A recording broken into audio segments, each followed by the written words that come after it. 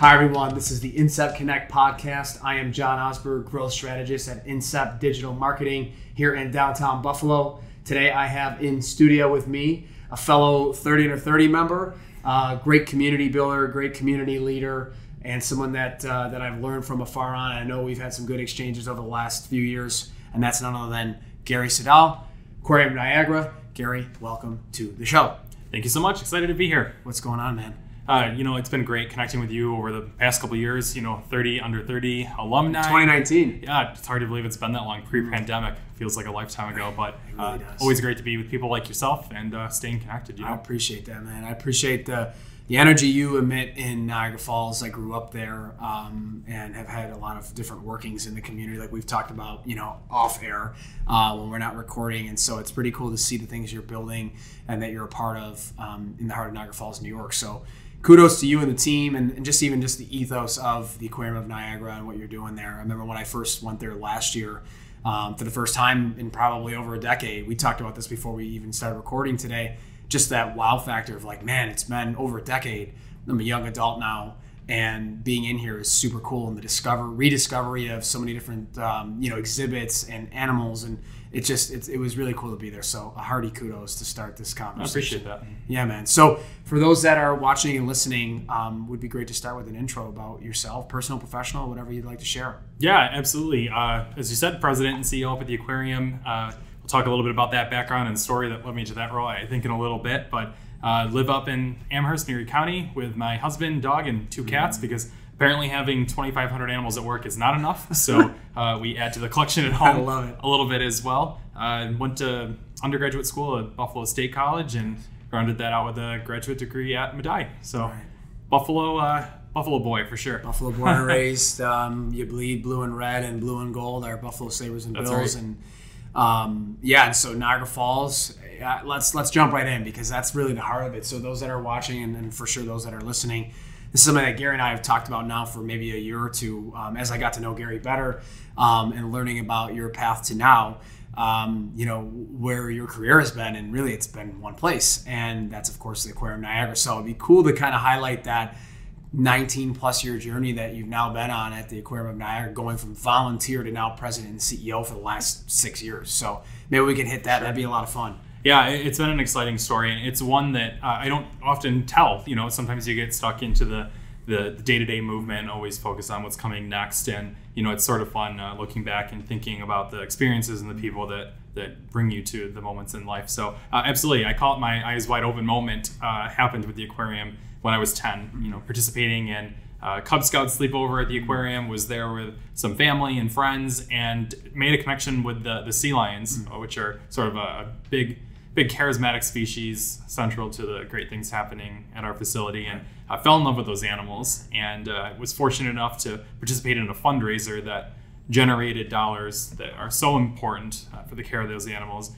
and raised enough money that it caught the attention of some of the staff at the time and they invited me to come meet some of the animals. Really cool experience. You can imagine as a 10 year old having the chance to go out uh, on the stage there on the platform and meet some of the animals is an incredibly inspiring experience.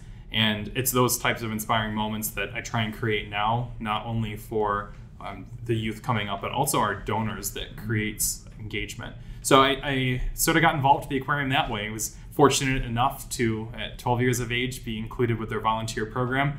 In fact, one of my favorite stories on that is still in my personnel file. There's a note from my mom allowing me to use a knife to cut up fish to feed the animals. Oh, man. Uh, because when you're 12 years old, uh, you know there's there's some logistics and legalities Yeah. around that. So It's uh, funny. It's not a doctor's note or like a, like a half day note, but it's a note to, to Yeah. use a knife. I love it. yeah, it's sort of a cool story. My mom Yeah. loves that. Um, so, you know, my parents were extremely supportive. They provided the constant transportation to the aquarium that, that fueled my passion. You know, visiting, volunteering, spending summers there, spending time off of school there. Made some amazing connections with a really great group of staff. a group of staff that really provided me the mentorship and opportunities to, to gain a lot of experience. So uh, a couple years later, was hired on for the first time. I, I worked in the gift shop at admission area, but also part time with the animal care team. Oh, wow. So uh, you don't learn how to work with a sea lion by taking a, a, specific course at a college. So a lot of that is hands-on learning. So I had the chance to do that, um, shadow the staff that were working, work hand in hand with more of the experienced team members, and that was really the launch point. So spent some time moving up the department leadership there. Had a chance to lead the marine mammal team. Moved into a deputy director role and got to try my hand with a variety of other operations at the aquarium. You know, you think about animal care, but there's safety and security, there's facilities, there's the physical space itself, there's conservation strategy, there's master planning, all of these different things uh, for someone who, who came into the space as a, a marine mammal, you know, sort of uh, entry point. Right. Those were new skills to learn. And uh, very fortunately, in 2016, I moved into my current role, uh, leading things and having the chance to provide mentorship and direction and collaboration with an incredible group of staff. Mm. They make it all happen. Mm. What an incredibly inspiring group to be around, watching the things that motivate them, watching the things that um, get them to think out of the box and deliver on our strategies. It is so rewarding. So rewarding. It sounds like it's amazing. And and so within that, you you mentioned the words mentorship, leadership, collaboration, community, relationships. Um, be curious to hear on what you know you would as a starting point for us, like what what do you think has, has served you really well in your journey from age 12 volunteer to then becoming in 2016 president CEO? Like what what would you pinpoint as like a knee jerk reaction, Gary, in terms of what you think has served you best in getting you from that volunteer role to the CEO? You know, we talk a lot about how you handle challenges and unanticipated events and unexpected occurrences, which I promise is all the time when you have a building full of animals. animals yeah. And what I learned early on was that you're not going to get it right every single time. You're not going to be perfect every single time. And you need to create a little bit of space for mm-hmm. inevitable failure. You know, you, there's a certain degree of risk tolerance that, you know, a business and organization needs to think about. So you're not throwing all your eggs in a basket. But I really feel like I was always provided a space that if I made a mistake and owned that mistake or was counseled on that mistake, it was fine. Mm-hmm. We could move past it. Mm-hmm. And I think it was that type of environment that allowed me to realize that you know you can step out of your comfort zone, you can step out of your box, you can try some things that maybe sound a little risky, but you can come out of that. Mm-hmm. And I think that type of environment is one that can't be understated enough. And and that's hard for some people to get comfortable with the idea of it not always being the perfect outcome, but I think it's more important than anything that you you try and take that stride and step out of that comfort zone. You have people around you that are going to pick you back up and get you back on the trail. And I think one of the things I've worked hard to do is try and create that atmosphere for the people that I work with now, mm. you know, letting them know that you can try things and we'll get you through it. And there's always the other side of this equation. And as long as we watch that the risk tolerance, we can get everyone through it. Okay. Wow. So almost like a, this may not be the proper semantics, but like a the first thing that comes to mind is like a failure buffer. Yeah. Almost kind of like building that in. Like, and, and there's a famous phrase out there it's not win or lose, it's win or learn. And again, we were talking before we started recording about that action mindset, that action over everything, because without action, then, you know, sometimes it might be a regression or a mistake or whatever, a failure, but you can still learn in that next reapproach of whatever it is you're, you know, pursuing so within that that loss or that you know not loss, I just said not win or lose, but that that that, that you know that that potential setback, you're going to learn, and then you can better be better off. So does that sound like uh, similar to what you're kind of saying? Is that just building in that uh, the ability to have that? Okay, I. I just, uh, you know, I, I, went out for this campaign. It didn't do as well as we thought. Mm-hmm. What did we learn? What can we do that's better than the next one? It's 100% right. Okay. You know, without that, you, you can stay on a very narrow trajectory. And I think what's allowed the aquarium to, to take what could have been a very linear path and sort of add a little curve to it. And that's mm-hmm. because we've been comfortable enough to step out of what maybe felt like the status quo. What are yeah, I love that. If we can key on that, like you know, what are some of the things that you that come to mind for you that are kind of the opposite of the status quo that you think have helped you go from that nonlinear or that linear to nonlinear kind of progression? Is there anything that comes to mind? You know, it's funny when when you think about the position that I hold in the job title. Oftentimes, there's not a great correlation between a 25 year old and a president and CEO job title. And I, I think for me, that was the first break out of the status quo mm-hmm. because you didn't assume that to be the case and you know, for a while, I, when you'd walk into a room, they'd say, "Oh, is, is your dad the, the president of the aquarium?"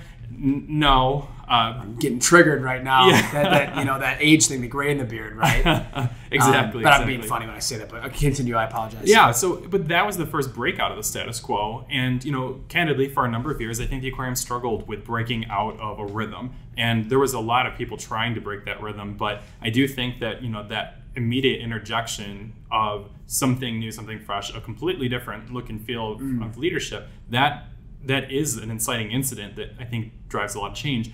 We call ourselves the. and I sort of joke and call myself my team the the Mavericks of the mm. aquarium's history because it, it slants younger and they have a lot of different backgrounds. We have a predominantly female senior leadership team and breaking the molds and sort of bringing people together that don't necessarily fit that typical C-suite visualization. I think is what it's allowed us to not operate within a confined confined box.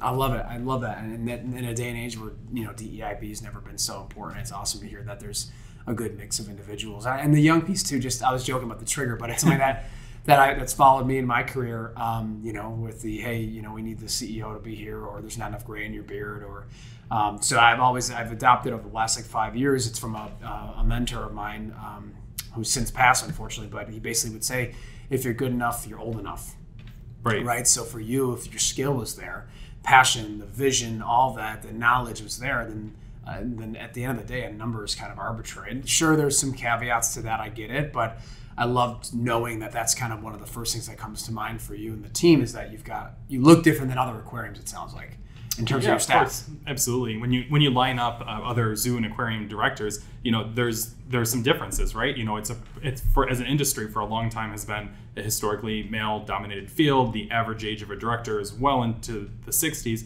and that's that's fine. You know, that's what got the industry to where it is today. But I think there's a lot of interest in all business all industry and business to to think about how can we shift the position of leadership to drive change and to sort of remain flexible and adaptable to the things that are coming down the, the pipeline. Beautiful. Segueing a little bit on this topic, you know, I think the word community has been thrown around. And of course, that's that's our podcast. The whole focal point of what we do here is to discuss that when you build community, you can build commerce, differently set business, right? So, um, you know, the community is a big stakeholder and a big play, um, you know, a big factor, I should say, in the success of the aquarium. I almost look at, and, and correct me if I'm wrong here, I almost look at it as the aquarium is kind of like a community center. Right? A place for people to connect, to share experiences, to network, to go to events, to get educated, to have fun, to bring family. Um, I see it as being a community center. Is that something you would agree with uh, in terms of what you, you do at the aquarium? You're spot on. I mean, certainly one of my greatest visions for how the space can transform over the years is to make it that community hub. It doesn't just need to be a space that's limited to school field trips. It doesn't just need to be a place where you bring your kids when they're that right age.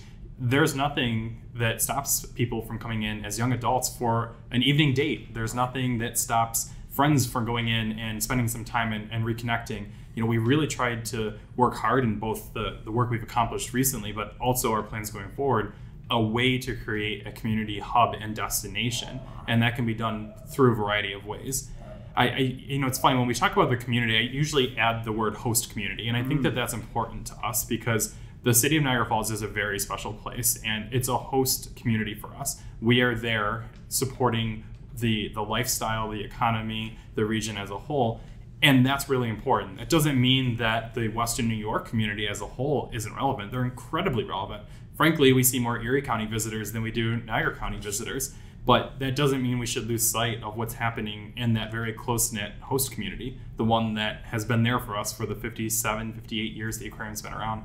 Wow, that's beautiful, man. And and so um, for folks that are watching, listening, that maybe haven't been, and this is something that I'll ask kind of later in a you know kind of wrap up mode. But for here right now in this con- in this point of the conversation, for folks that haven't been ever or haven't been like myself, I haven't been there for probably 10, 15 years at least. Um, you know, what's what are some of the things that you know that they can look forward to? I mean, you mentioned donors. I remember seeing that you had different, you know, you know, legacy, beautiful, just incredible inst- institutions with these beautiful exhibits that are tied to it, um, in their as their impact, their footprint in the community. But what are some things that individuals that haven't like been or, or, or it's been a while uh, watching, listening? What are some things they can look forward to and, and revisiting? It's one of my favorite things to talk about because it it is the dawn of a new era. I've heard it called a renaissance. I've I've heard the aquarium called the new little darling. Like I've, I've heard all these sort of analogies for that. what we're going through, and that's incredibly humbling to be a part of. We've we've infused $15, $15 million worth of funding over the past five years to improve everything from animal enclosures and habitats to the visitor experience to just the physical site. And those investments are things you're going to notice. Right. Uh, historically, if you walked in, you'd see a 500 square foot penguin exhibit. Now they have 15,000 gallons of water and they're in a huge exhibit. So we've made improvements all the way around. And it, it's a very common line to hear that oh, I haven't been there since, and you can fill in the blank with whatever you want. Since I was a kid, since I brought my kids there. I think that what we're trying to do is position ourselves as all of our outreach strategy, all of our external communications is if you have not been, regardless of the reason, give us another chance and come and see what we have to offer mm-hmm. because there's so many new things happening we really see ourselves now shifting from a, a static living museum to a dynamic cultural experience that tells the stories of rescued animals, that creates inspiring moments for future scientists, and draws awareness to the things happening here. Wow, I love how you just said that. It creates aware. Uh, I forget how you said it, but it was like, it was like an inspiration for future scientists, right? Kind of like your moment Right, where exactly. you had that spark, that catalyst, that moment where it was like, this is incredible. I'm you know 10 years old, 12 years old, Mm-hmm. and this is something I could see myself being involved in, and um, that's really unique. I've never just total organic, candid moment. Of course, that uh, I've not thought of it that way. That's really that's really cool and important, especially candidly too. With not to get political or anything, but with how where the environment's going and Sure. what's happening in, in um, you know our ecology as a, as a as a world. I feel like the marine the marine part of it is interesting. I'm I'm not, not don't know enough to comment on, but I think.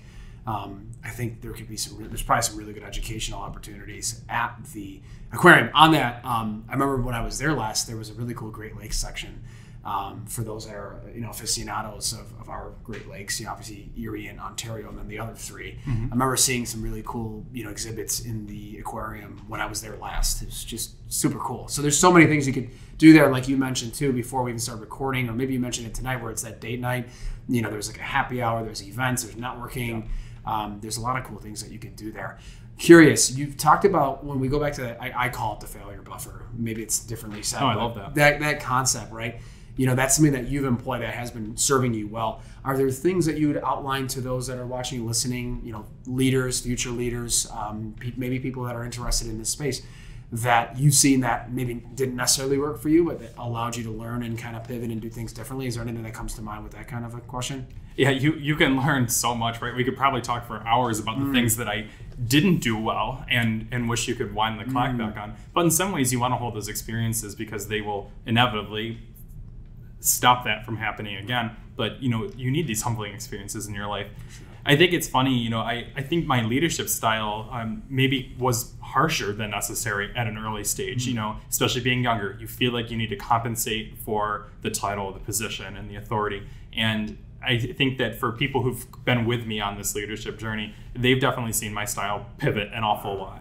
You know, and maybe it's called mellowing. I'm not sure what you call it, but there's no reason to go with things with a level of harshness that's inconsistent with the tone of the workplace, of the environment. I think that people get sort of wrapped up into the fact that they have these positions and titles and it can lead you to believe that you have to act and behave in a certain way. The reality is, you can get pretty far in life by being genuine and authentic and humble about things.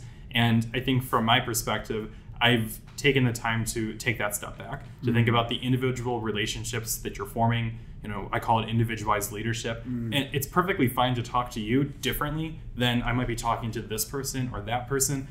But do you know what style never works? Is harshness and aggression. That just causes people to seek avoidance. It mm. causes people to um, limit themselves in the trust that they're willing to invest into that relationship. I just haven't seen it work. Mm. And I haven't seen that work for a long time. So I think that from my perspective, thinking about the way that you treat people, seating that in respect, and being authentic to your true self, it's that whole look yourself in the mirror. And you need to be willing to do that. And not just for a second. You've got to be able to maintain eye contact with yourself. It's important. And I think that's something that I've held on as a sort of true facet for, you know, building the successful team that I have the pleasure of, of working with. Ah, well, kudos to you on that, Gary, too, because you outlining that to us also shows um, the audience uh, a really high end quality trait of a leader, which is to be authentic, candid, vulnerable at times. Um, and you sharing that is, is super inspiring for me to hear because I just, just what you said, I completely agree with. Meet people where they are, right? Um, you know, there's no one size fits all kind of thing that just doesn't work, especially nowadays. And I, it's cool to see the shit that's happening in the workplace. Yes. I mentioned uh, two episodes ago. We released Glenn Jackson um, from M&T Bank and their chief. You probably know those folks well. Do they, I don't know if they're involved as a Partner, donor. sure, yeah. partner. So, so being their chief diversity officer, we just we just went to town, and it was so inspiring. And some of the things, that the nuances and the evolution that we're seeing in the workplace today is um, inspiring. Lots of work to do still, of course, but kudos to you for identifying that and then changing course so that you can become the best leader for those that are on your team as possible. And that's why you're doing so well. So uh, hearty kudos, man. A Hearty kudos. Um, I'm just trying to think through some other things. Yeah, freeform kind of thing. We've covered so many interesting topics and things. Are there, is there anything that comes to mind that um, that that you'd like to share while we're on this platform right now, or do we want to kind of roll to uh, you know some of the current events that might be coming Sure. in Q1 2023, Q2 2023? Is there anything else you want to add? You know when when the sort of freeform opportunity comes up and you know you're given the chance to to choose something specific to highlight you know i think that has to be a, a thoughtful attempt. And you know the thing that's coming to mind just from our conversation today is that you know we've worked we've worked hard. The team has mm-hmm. worked incredibly hard to modernize the aquarium's experience to be true to our region to celebrate the stories of local wildlife to educate the public on, on, on education and matters of conservation and it really does feel like now's the right time to ask the community to come in and give the aquarium that second chance. You know, you sort of have to shed that historic negative impression. If you remember the wood paneling, I promise it's gone. There's uh, there's Love no, that. no more yellow floors and brown ceiling tiles. Um, Really I don't think it's coming back in style anytime soon.